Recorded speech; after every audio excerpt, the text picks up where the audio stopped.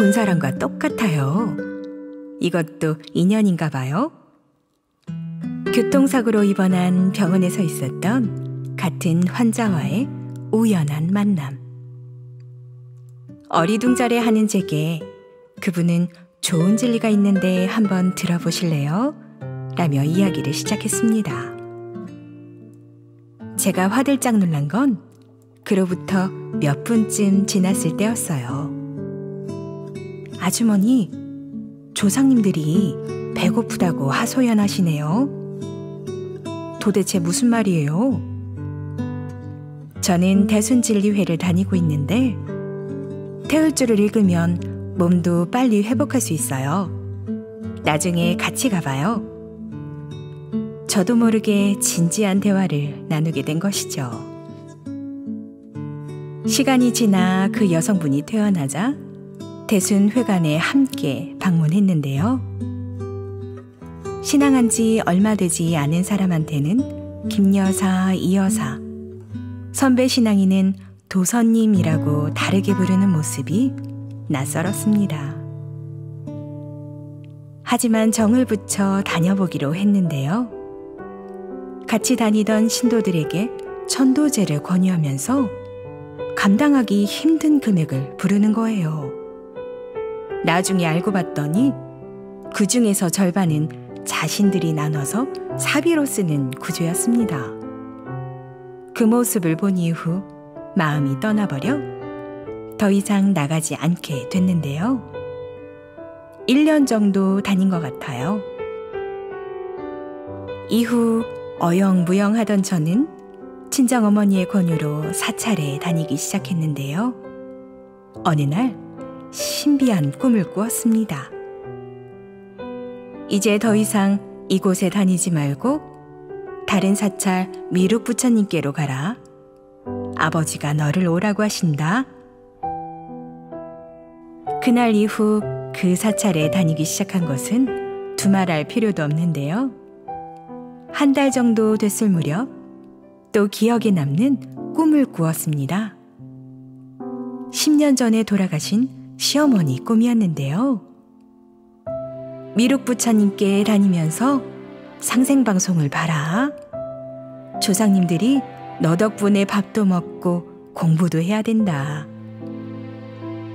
저는 다음날 바로 TV 채널을 돌려 상생방송을 찾아 시청했고, 이후 도전 퀴즈 응모도 했는데요.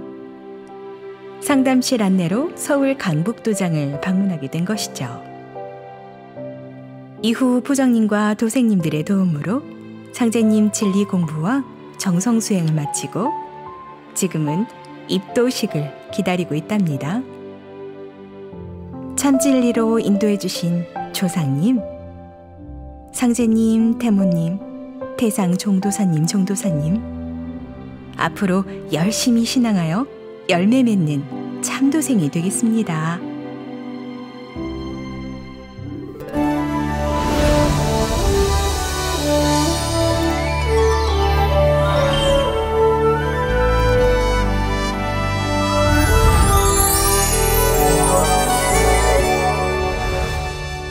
저는 남들처럼 평범하게 살아왔어요.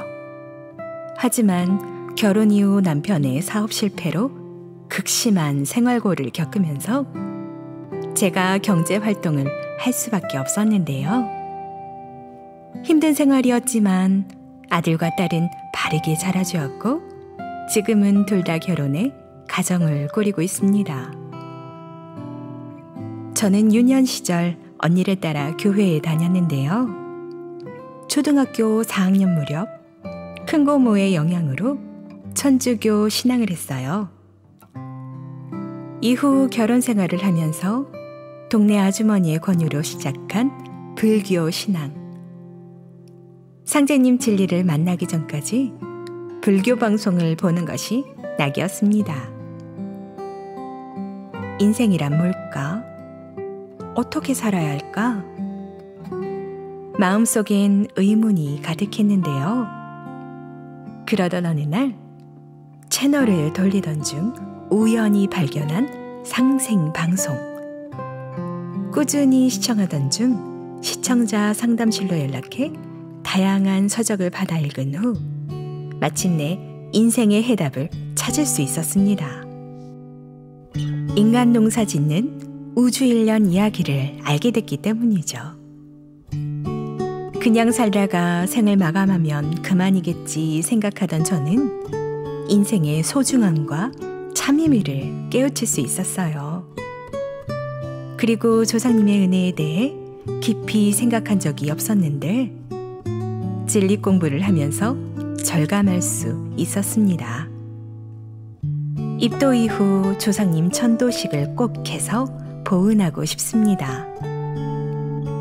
상제님 진리를 만나게 된 것은 제 인생 최고의 행운이 아닐까 하는데요. 삶의 마지막 숙제를 풀었고 참다운 인생을 살 수 있게 됐기 때문이죠. 저를 낳아주시고 길러주신 부모님, 그리고 상제님 진리로 인도해주신 조상님, 앞으로 열심히 신앙해 사람을 많이 살려내는 참도생이 되겠습니다.